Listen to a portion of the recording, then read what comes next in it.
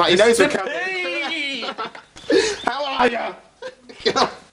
Get off. This is our greeting. Get off. How are ya? Get out! No, get out! Get out! Let us in. Come in. Come in. How are you? I'm good, how are We're you? very well. Thank you very much Good, indeed. good. So this is it. This is it. It's home sweet home.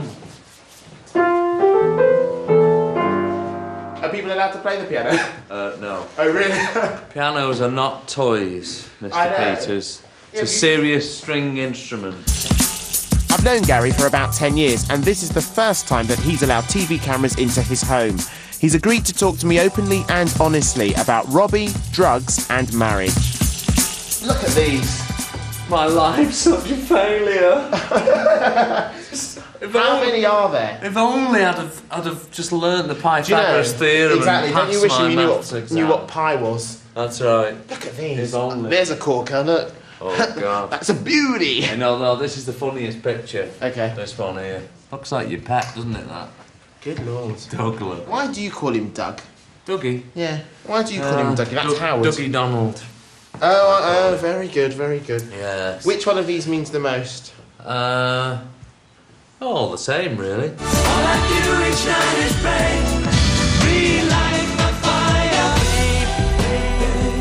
Oh, look, look, look. Four Ivor Novellos. Gosh, but you keep them in a very understated place. Do you think? Oh, I think they look nice there. I just want you back for good. Forget where you're coming from. Was it odd when you won awards for like songwriting? Did, for the rest of the boys, they used to go, oh right, okay, fine. But then I suppose they knew they didn't write the songs. How, why should they think they get the award?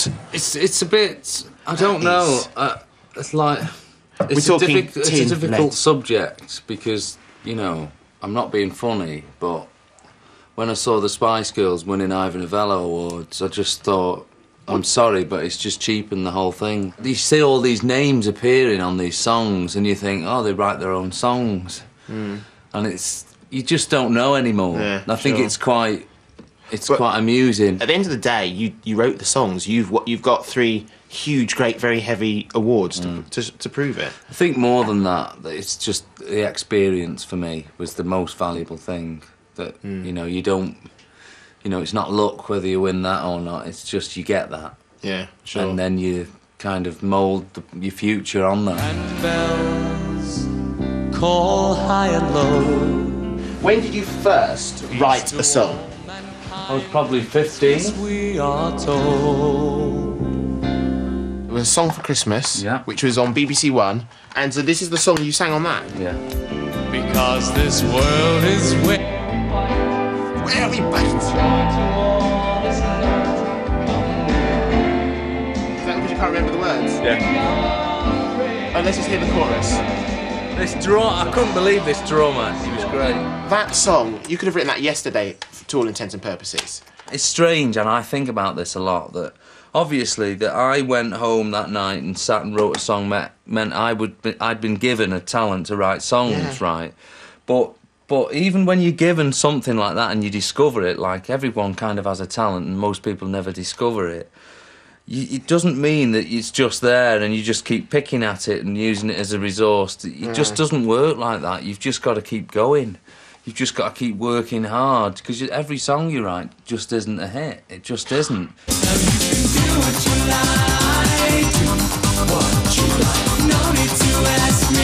Ten years ago, Wow. since I first met you. Do you remember when it was? I do, yeah. We were downstairs. We were doing a photo shoot at the BBC Wood Lane. When you think back to those days, what are the feelings that spring to mind? What, I mean, what emotions come to you? The early days were the best for me because we were just so ambitious. We just wanted it so badly, and um, and you know we were all kind of unaffected by it all. We were just the people we were then, trying to trying to get to where we wanted to go to. But how would you describe, even then, your relationship with the other members of the band? Some better than others. Like for instance, the group was always kind of split into two even then. Right. Mark and Robbie were the younger ones, and they went off and did their own thing, or they sat at the back of the van or whatever. Yeah. Although we all got on, the closeness of those two. You know that, and me, Howard, and Jason, we kind of always hung around together. But Howard and Jason, again, had worked together before. Yeah, but I mean, Howard was the one I always got on with the best. Being the one that would write the songs, that would write the you know the music, the lyrics.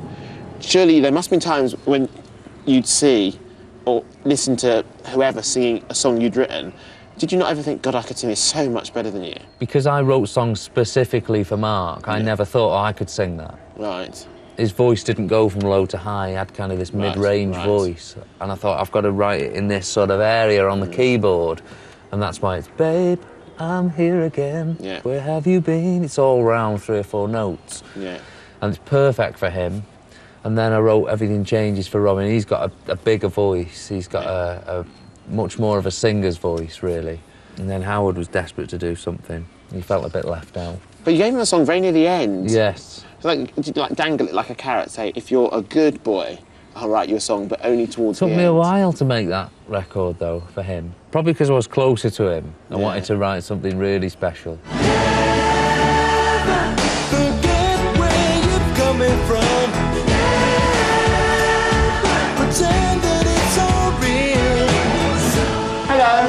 Oh, sorry. Oh. Mama! Hello. How are you, Ben? Hello, Max. How are you? This is Daddy. I'm very well. You, Conor Brett? Yes. Who I always used to call Mr. Barlow. He said, stealing from my You say. Andi, stop calling me Mr. Barlow. I'm like, all right, all right, Mr. Barlow. I'll stop calling you Mr. Barlow. and look, Mum's gone. She, Oh, you're yeah. not going to be on time. Oh, you've lost it. No, I'm coming to town. You've lost it. How are you? And you're cooking a Barbie for them. Oh, we're, we're looking forward to it. God bless your mother. God bless your mother. It's right. right. No, no cameras on Mrs. B. In you go. In you go, Yeah, Mama. In you go, Mrs. B. Come on, babe. We're coming. Max, come on, Max. Max, Oh, me. tennis, do you play? Oh, yeah. Do you want a game later? Yeah, we play a bit of tennis. Everything changes but you.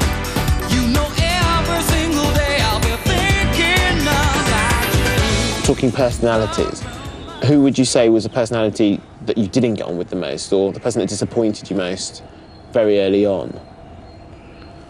You see, I mean, it's, it's, it's too easy to say Robbie because he was just. But even back then, do you think it was? Oh, even back then, he was. I mean, he was kind of like the one the least interested in anything. right. If it was music, no interest. If it was tours, no interest. Uh, business meetings, no interest. It was only after the work had finished that life got Yeah. exciting for him. Yeah. Do you know what I mean? Which is probably why when I read interviews, it's hard to read an interview of his because so much of it is his emotions talking rather than facts. Right. And a lot of it, when I read back and I think, why does he, why does he refer to the Take That days as being in a prison? I think it wasn't like that at all. I think what it is is he had so little to do with the success of Take That. Right. That's why he, he always puts it down so much. Because actually, a lot of the most strategic decisions and positionings were nothing to do with him. The But- records, nothing to do with him. You helped him, you assisted Yeah. Mm. him in his platform to become Robbie Williams that we know now. He has gone on the record of, you know, saying his true feelings for you. Why have you never said what you really think about him? To be honest, if I had, if I really disliked somebody, I'd go up to their front door, I'd bang on it, and I'd tell them, Yeah. or I'd call them up and tell them. I have no interest in giving anyone else publicity on my behalf. It's been unbelievable. I've had a year off. I've done nothing. I've had more press in the last year, I think, than I had when I was out working. I'm being talked about all the time by him. I, I don't work like that. If I've got something to say, I say it. But then, okay, what are your true feelings today, this day in June? What are your feelings towards Robbie Williams? Well, I haven't had a relationship with him for the last four years. You know, so it's very difficult. All of a sudden, I'm going to give a reaction now on his public image. And I know his personal image is different than that. You know, because I did spend seven years on the road with him. You know, it's, it's, it's strange. It's really weird. It's, it's almost somebody I don't know. But does it hurt? Does it does it hurt when you read what oh, he the, the press things are terrible for me because I don't know. It's something about print. They hurt me more than seeing someone on TV hmm. giving an opinion hmm. because it's it's just like it's horrible to read things like that. You know, it's like, what is the problem here? You know Yeah, what I mean? It's yeah. just like But what do you think of Robbie Williams? this'll kind of wrap the whole thing up. About three years into the group, I sat down with Robbie and I said, God, Rob, it's, it's great, this, isn't it? Isn't it brilliant, all this? Yeah. You know, can you imagine what, you know, it would be like if we didn't have this now? Isn't it brilliant?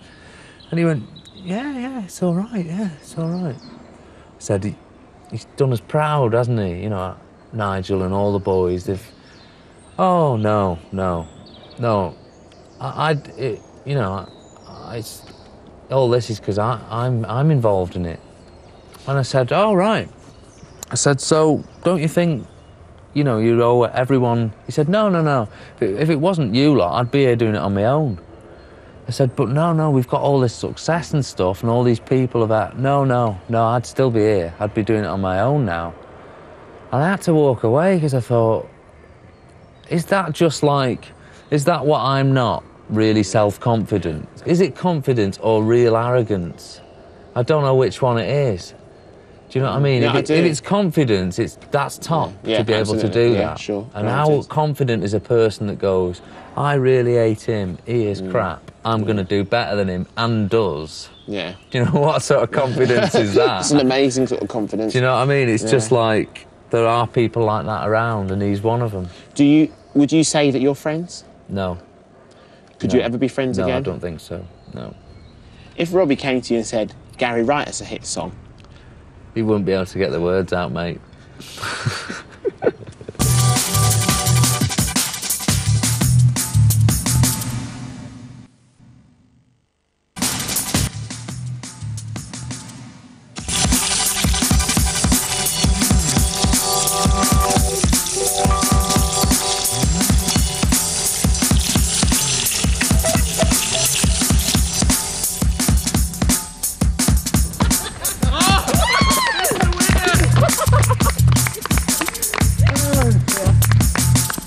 eighteen months out of the public eye, and then you make the most sensational revelation to come back with, with an interview with the Sun. You know, where the headline reads that you are a, you've been on drugs, you've done this, you've done that. Why? It certainly wasn't planned that way. I didn't go into that interview thinking, right, I'm going to get a front page here. And I've always been portrayed as this real clean living, nice guy. You know, admittedly, the drugs thing was about to catch, I felt was about to catch me up. I felt that there'll be a book one day and it will be all about that. Mm. And I want to always be the first one to tell people. I want to be the one to say it rather than anyone else coming up with seedy stories of this or that. You'd obviously done the interview where you'd mentioned drugs. Yeah. You'd mentioned sleeping with fans. Mm-hmm. How much of that story am I to believe? It's strange because I, when I, thought I first knew you. saw it, I thought I went, "Oh my god!" I mean, part of me was relieved because I thought that's as bad as it gets, I suppose. Right. Do you know what I mean? You open it up, and actually, the more you read on, the more it kind of dissolves Mm. the whole story. Because I certainly didn't mention about, you know, having feeling like that for a week. Because some people would say, again, the cynics would say, it was all publicity. That's the first thing I thought. I thought, oh dear, the, the, there wasn't the headline I was most displeased, and it just looked as if I was just out there to try and make people go, oh yeah, man, he's really Yeah. bad, and it's and it's quite crazy because in a in a funny way, I've had I've had people coming up going, hey man. Cool, giving me the old nudge and wink, yeah. and I'm like, right, lovely, uh, right, okay. you, you've not denied it, so I assume it was true. Mm-hmm. Um, a lot of people have accused you of double standards because previously you'd, you know, said, you know, Robbie shouldn't have done it, etc., etc., etc. I think we're talking about a different degree here. Okay, You're talking now about people who have been in, in rehabilitation. okay. You taking drugs, was that wrong? No. Only, I mean, I, I, it's my, uh, like I said before, it's a choice. It's your own decision. You know, it's an experience. Would you do it again? Depends what situation I'm in. I can't say no because who knows? Yeah, sure. You know. Now I'm deep inside love months of breathing. She is holding my heart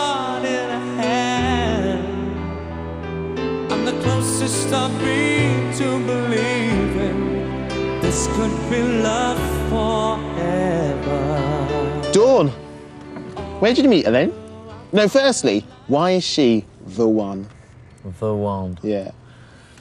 Um, a lot of things, really. A lot of Could you be a bit more romantic about this? Is you're like, oh yeah, a lot of things. You're forcing me to be, though, and it's hard. What to be romantic? To be romantic? Yeah, Oh, yeah. You've got to put me in the mood. but I'm not Dawn. I'm not doing any of that No, malarkey. no, you've got to, like, touch me leg here. Shall I cut straight to the questions about being gay, or shall I just wait? shall I just go back a bit? Can we do? So, why, why is she the one? Why is Dawn the one? Because she's got a lovely willy.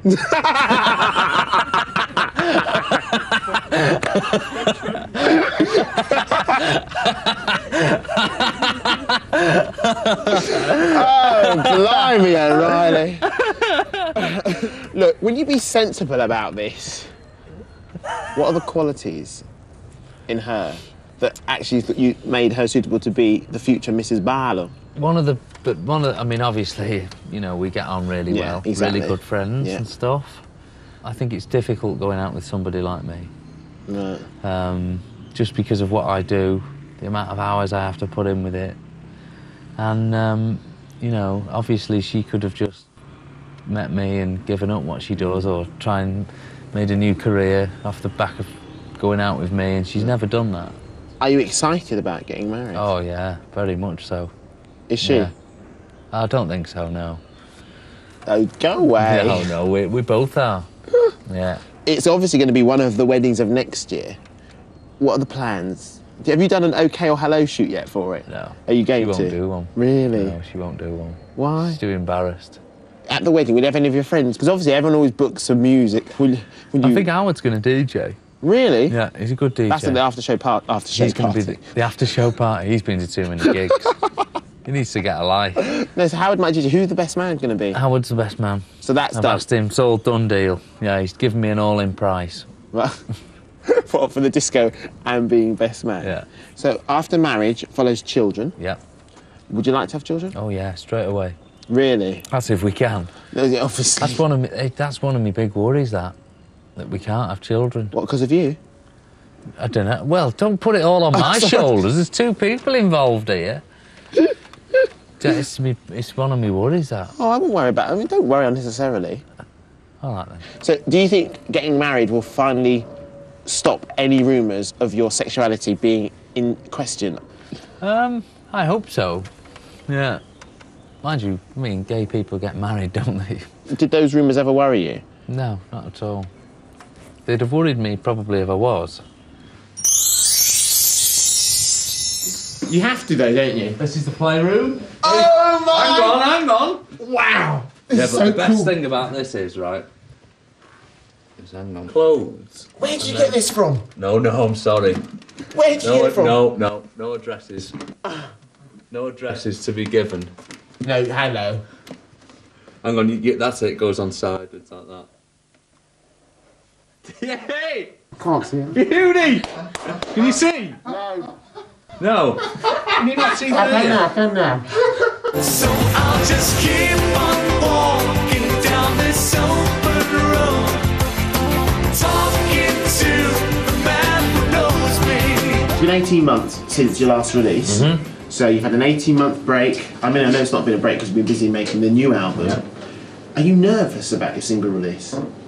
I'm always nervous about a single release. I'd like to be top 10. Right, okay. Yeah, yeah. Well, I'll buy it. Yeah? As long as I get- I will as well, don't worry about that. So Open Road went in at seven. yes. You'd had a string of hit songs at number one. Does that, you know, were you disappointed? Were you? Well, that was the fourth single off that album, and that always happens as you get into the end. Like the first or second single are usually the biggest Right. chart positions. Right. Um, second, if you're lucky. Do you know what I mean? Because the album's usually out, so people either wait for the album or whatever. But um, you know, I like to see albums I know when people are listening to albums, there's more likely that they'll, they'll come and watch me on tour then, Right. and they'll know all the songs that I'll, I'll be singing on the show. Should this song not do as well as you expected, what would be the next move? Would you be like, fine, right, I'm Oh, I can't think, can't think like that. Right, really? No, no, you can't. You can't go into the promotion of a single thinking, but if this doesn't go, you just can't do it. Yeah. You've just got to be totally positive all the time. Right. Otherwise, you'd, you'd never do anything in fear that it, it would fail. Right, You just cannot be like that. Stronger every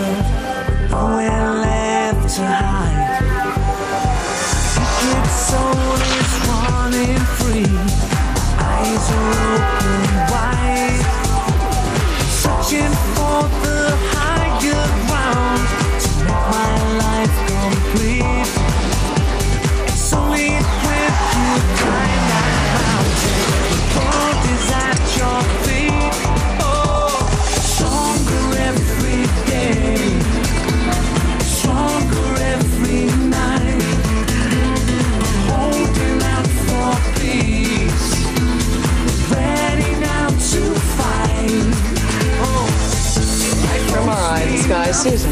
traffic in the rest of the city at a crawl because one man is pushing his car right through the middle of rush hour traffic. He has brought the city to a standstill. Now I'm feeling stronger. We shot that in Vancouver. Across how many days? I mean, because it's, I mean, it is a stunning looking video. Four days. Bring the whole of Vancouver to a standstill. Mm, we did. We closed bridges and streets, and yeah, it was an excellent video. It's the first time I've ever watched one of my own videos and thought, that's really good. My big question always is, am I happy? I've just made an album full of some of the best songs I've written. I'm just about to get married next year. I'm going to start a whole new life there. I've got so much time still to to try and better what I've already done. It's that question: how, how am I feeling? Am I happy with what I'm doing? Am I still enthusiastic about music? Oh yes, very much so. Do I still enjoy it? Yeah. This morning, Andi Peters come over. This afternoon, we had a barbecue. But what he didn't know, what he didn't know, he was eating. Emu. And all I do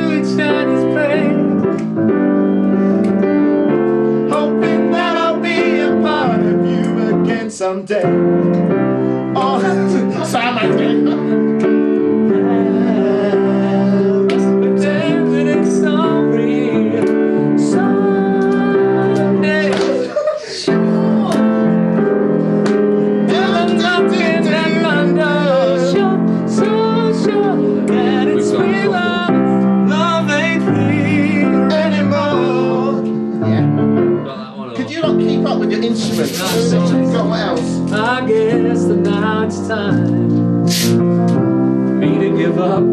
aí.